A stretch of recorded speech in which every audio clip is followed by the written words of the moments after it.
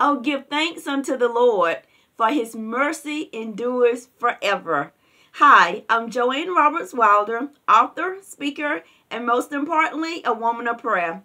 So today we are going to be talking about your attitude is your gratitude. But before we get into that, I want to read that to you. But before we get into that, I want to briefly mention about my website. Of course, I will put the link at the in the description box, but it's Look Within by jrw.com. Now, if you see some shirts there that is not the color that you see there, just send me a quick email and ask me, do I have that color in stock? There's so many other products that I'm trying to add to the website as the days and weeks to come. So there is so much more that I want to add to it. So let's get into um, this here. Let gratitude be your attitude.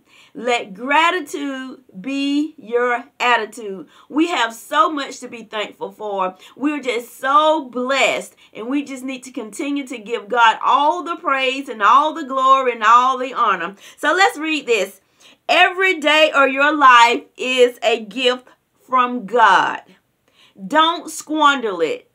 Don't waste it by being angry with anyone. Don't let it slip away by feeling sorry for yourself.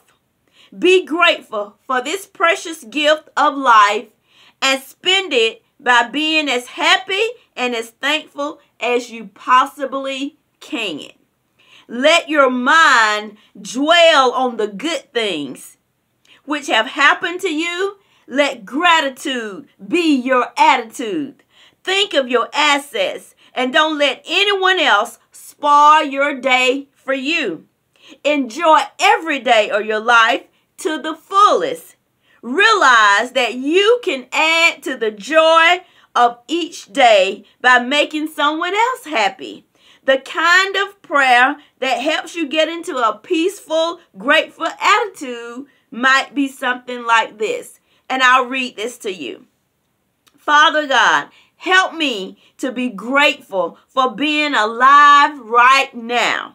Help me to realize that no matter what my problems may be, where there is life, there is hope. Help me to think positively and to realize that thousands of miracles are happening every day. Help me to pray and help me to remember the times when prayer brought me peace. Let me be a better listener and not be self-centered. Help me to realize that if I get my mind occupied by helping and cheering up other people, I will be healthier. I will be health healthier. Excuse me, let me get this out. I will be healthier than if I were always checking my own pulse. Help me to look for the good in everyone I meet. Let me realize that I cannot change anybody's way of thinking. Only by doing the best I can and setting a good example may I influence someone else to change their behavior. Help me to understand that other people have as much right to their opinion as I do to mine. Let me love myself as I am.